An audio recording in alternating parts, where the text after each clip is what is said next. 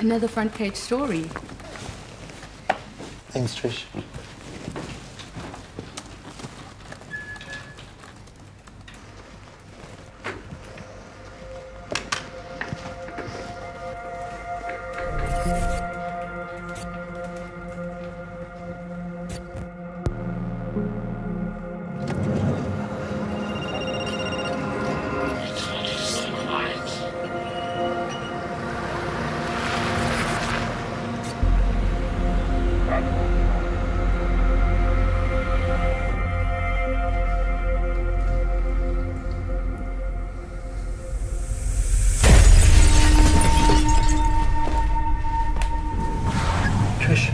Brick just came through my window. I'm fine. It's just. It needs to stop.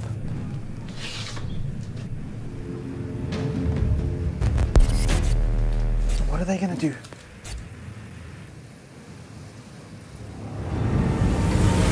Again, I'm working on a story that will expose deep levels of corruption. And because of that, I've been under constant threat. Whoa, whoa, whoa. What newspaper you from? I'm a journalist. Just an hour ago, this brick came through my window. What do you want us to do about it? Can you help me? We can't help you. Of course you can't. Thanks.